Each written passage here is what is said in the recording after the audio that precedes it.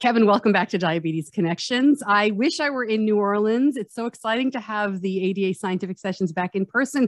How's it going?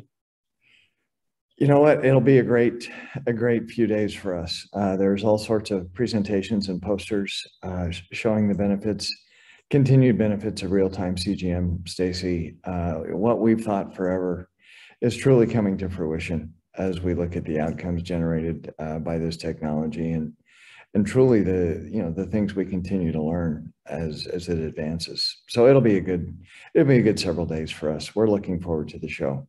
Excellent. What do you think the headline will be? I mean i know there's press releases and there's posters. What do you think the headline's going to be out of this conference for dexcom? I well i think the first headline is going to be we all got together again. And i think that's going to make everybody very happy. I think the headline for dexcom is continued growth and progress and as you look at uh, our partners with the integrated systems, uh, the data that will be presented uh, by them, and just the outcomes they're generating, the excitement for Omnipod 5, for example, uh, in, in, the world, and continued growth with Tandem uh, and, and what they're doing. That'll be very good. You know, our old mantra, CGM first, really doesn't even have to be a mantra anymore. Uh, kids leave the hospital if they're diagnosed on, on, on a Dexcom and we had a family uh, speak at our town hall meeting uh, for our company a, a, while ago. We often do that.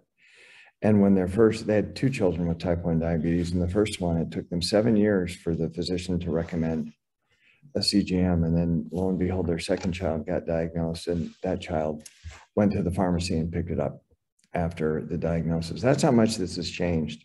And I think that's the continual theme here. Forget all the noise and, and all the other stuff. I, I, think for Dexcom, that's the theme that we're truly entrenched in the middle of all this rather than trying to justify our presence. Excellent. And as you're, if you're watching this and not just listening, usually this is an audio podcast, but I take notes and I look at stuff. So I promise I'm paying attention. It's a very strange feeling to go from just audio to knowing you can kind of see me as I'm scratching all my stuff here. I, I want to come back to that, leaving the hospital with a Dexcom um, in just a, a couple of minutes. But I would like to ask you about um, your partners with Insulet, with Tandem, that kind of thing. Um, the biggest question I got was how soon, right? You haven't, the G7 is not yet FDA approved, and everyone wants to know how soon will it be integrated? Actually, I have one. Oh, I thought you were going to say you were going to break the news no, here that FDA. I, I have one right here. I can show you the box. I won't show you more than that. Uh, you know, we have to get it approved. We're working on the engineering side with both companies now. Uh, I can't speak to their timelines. I know we're devoting tremendous resources to both, and we'll get it done as quickly as we can.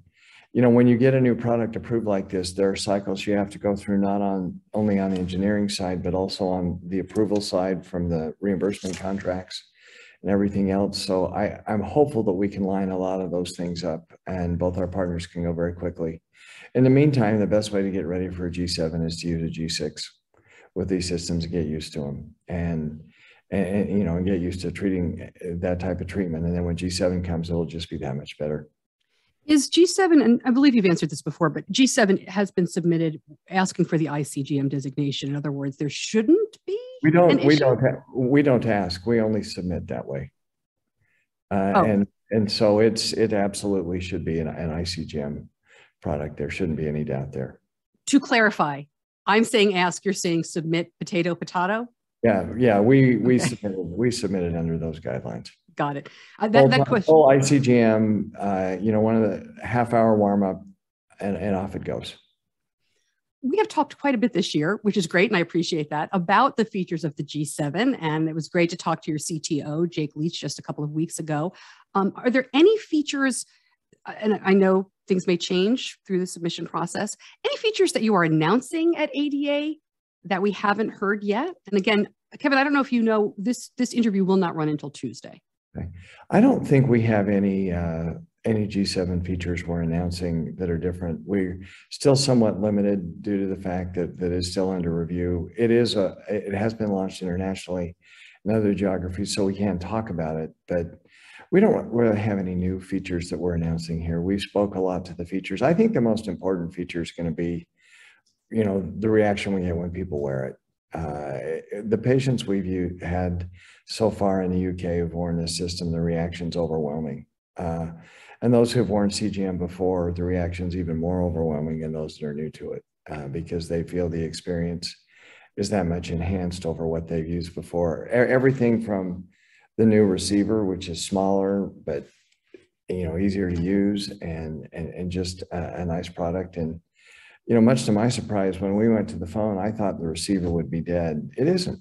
Uh, there are a number of patients who don't want their phone being their medical device, and so the receiver reaction has been very good. Uh, you know, the ability, again, our continued ability, ability to pair to multiple devices, the G7 pairs to three, can pair to up to three devices at the same time. When we come out, we won't have that third, but in the not too distant future, we'll have direct Apple Watch with G7. This has the Bluetooth capability of doing that. So you could theoretically be paired to your pump, your phone, and directly to your Apple Watch uh, and use the G7 system and, and input directly to the G7 software, not just one. And that is some wonderful technology. I, I think people will love that as well.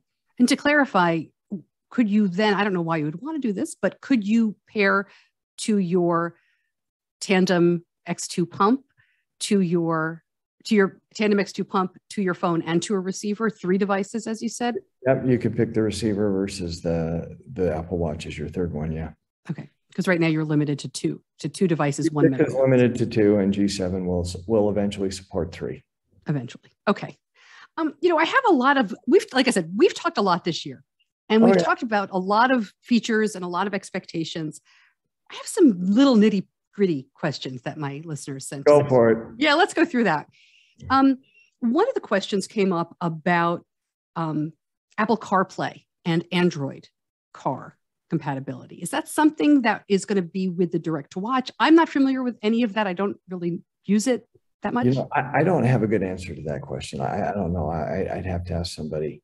Maybe I could have uh, our team follow up here if there's some news, but for now, I just I can't answer that one. I don't know. Okay, and I have another one from the Facebook group, and I want to read this because I think you'll get a kick out of, of some of it. Um, well, make a kick out of all of it. We'll see.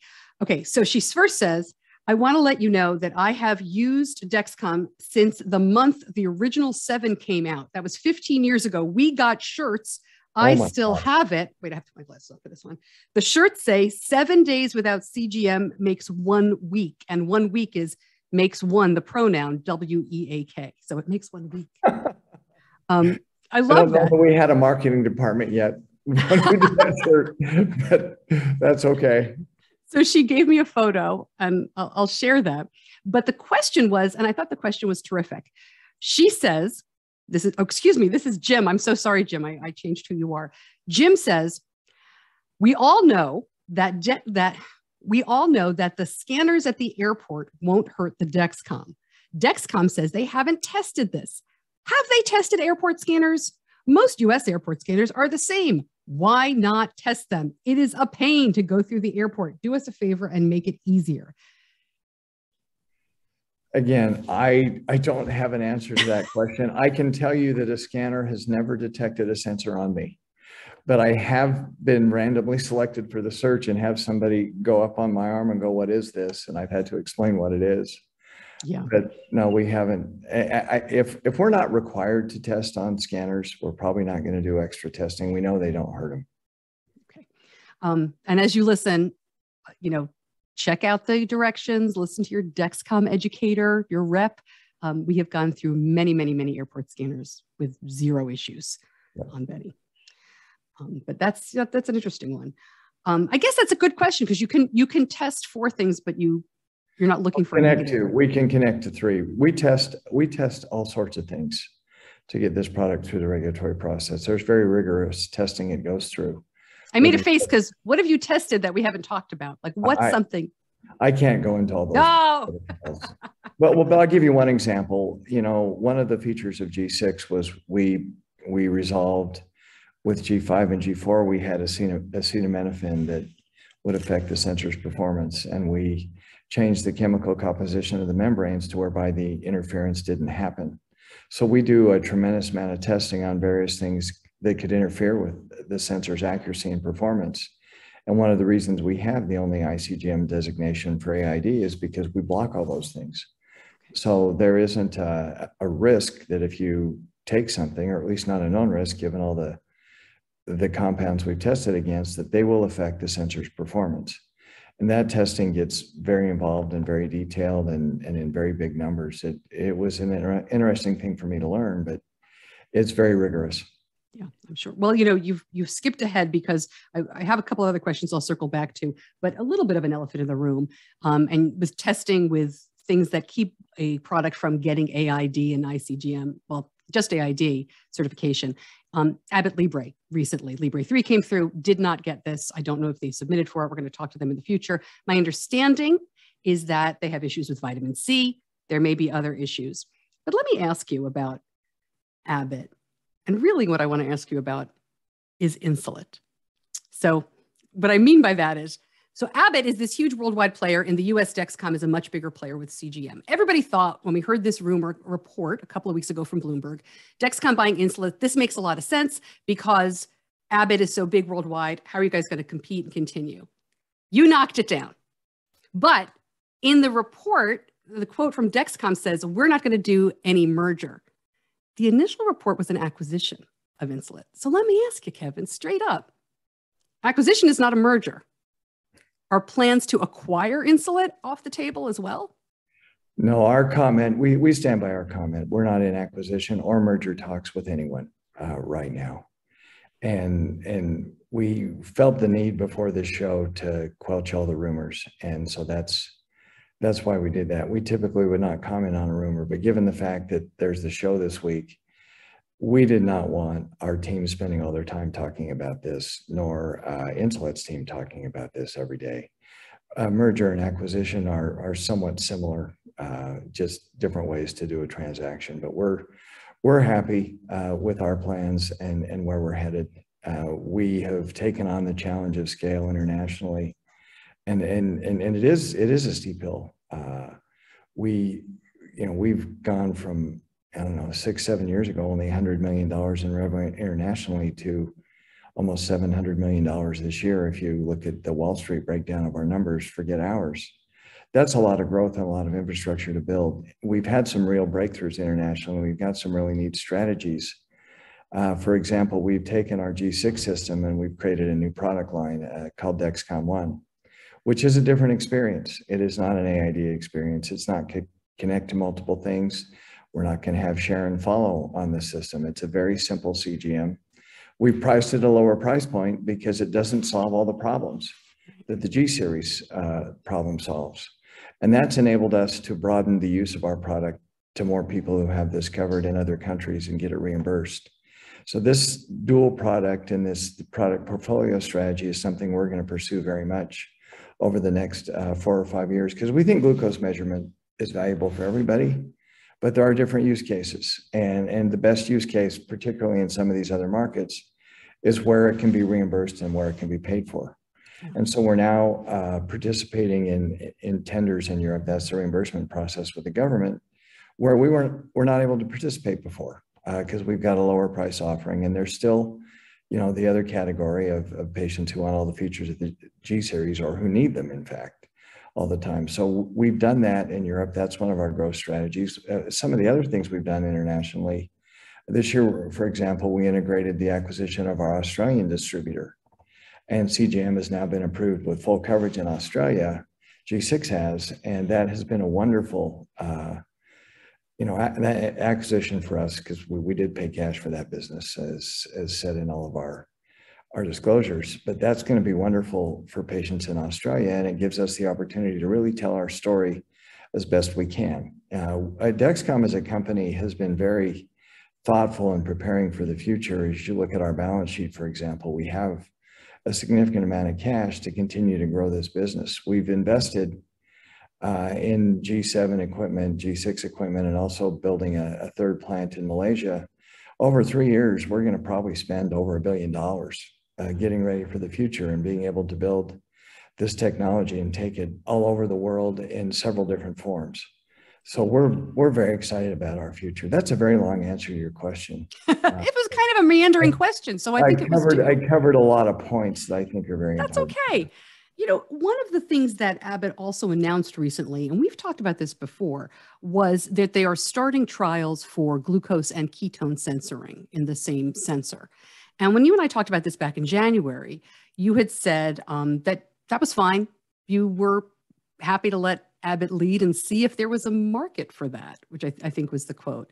Um, is Dexcom still feeling that way, or are you thinking of incorporating other types of sensors? You had mentioned that you know you're capable of doing no, that. No, we do look at other analytes, yeah. and we are evaluating other analytes for a sensor system. I, and again, we'll see if it's useful. I guess my question for you, Stacy, is if you're on an AID system and doing well, shouldn't you be okay with glucose values? I this is what I want to try and figure out as we. I think through. it's a great question. I really do. Um, no, I don't. I, I'll tell you what. If the price went up, I would not be happy because I don't think I need to monitor my son for ketones every moment of the day certainly not on five minute cycles.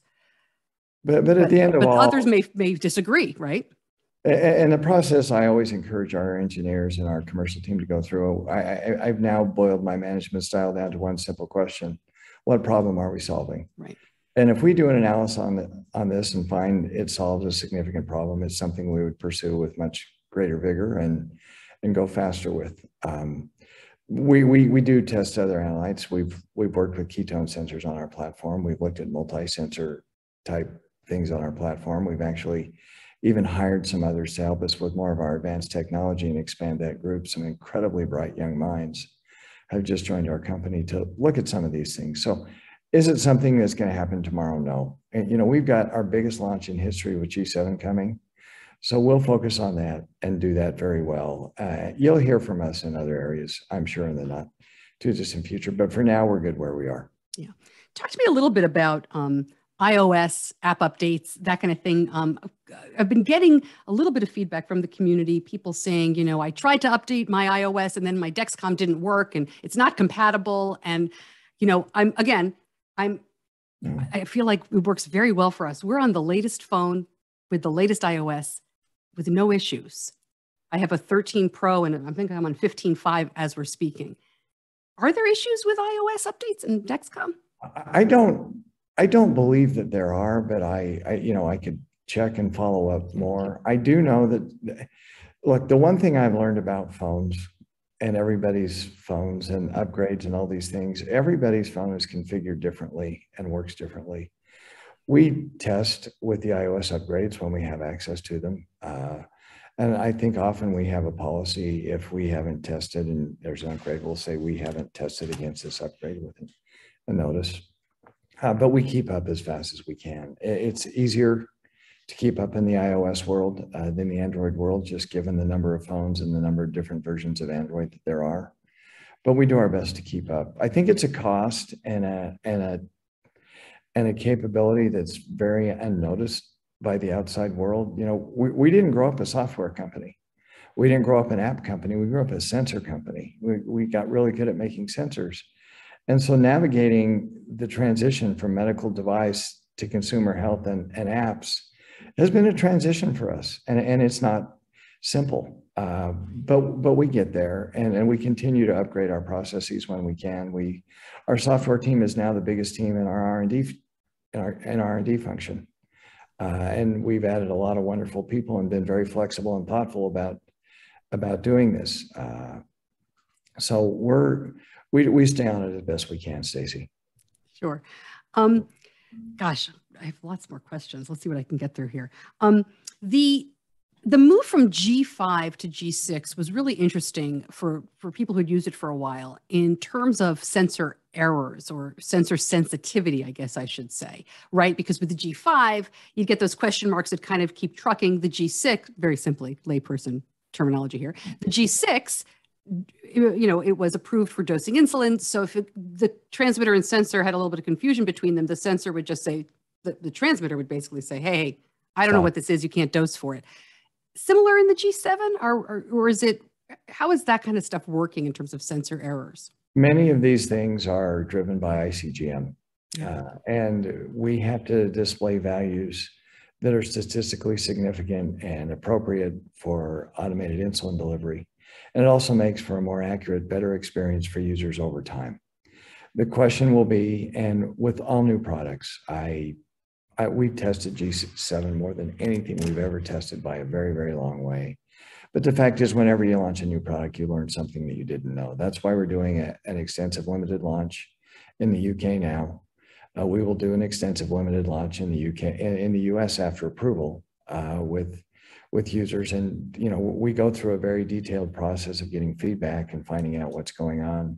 There's literally a daily, well, there was a daily. Now it's more like twice a week report from our users on G7 as to what we've learned and what we've seen and what we can fix and do better. So we're better at that. We're better identifying and correcting those early things. And and over time, the G7 performance is going to be it's going to be spectacular. G6 performing right now. I mean, Stacy, right now our NPS scores are higher than they've ever been in the history of our company. What's People, an NPS score? Net Promoter Score. So on a you know on a one to ten scale, uh, would you recommend this product or would ah. you not?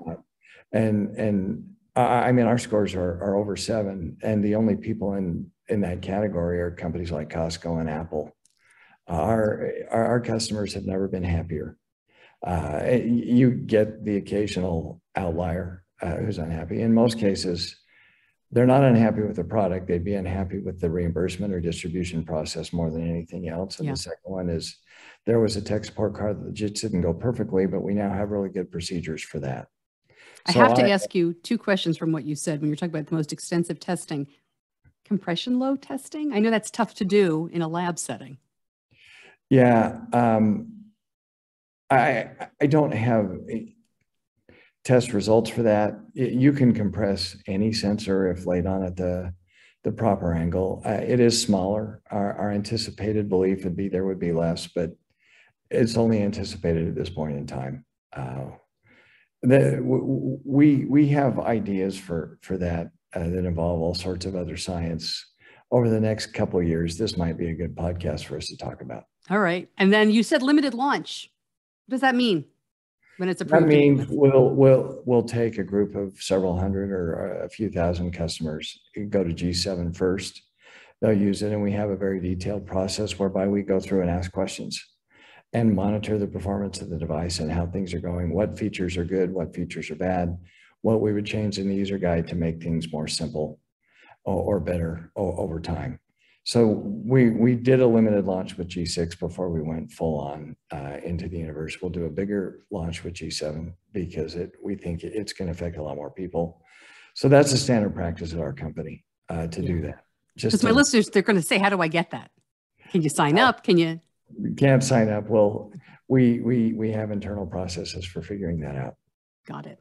You know, at the very beginning, you mentioned the family that had gone seven years before they got a Dexcom for their first child, and then immediately got one for the unfortunately the next child that was diagnosed.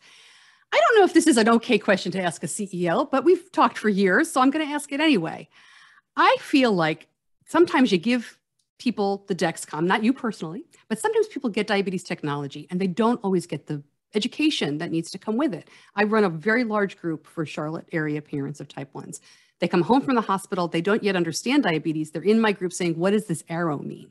What do that I do? kind of thing. Wait, wait, wait, wait. And then they're really terrified to go a moment without it. Are you guys almost a victim of your own success in terms of the marketing of this and in terms of getting it out there so quickly? Because if anything goes wrong, there's a lot of panic.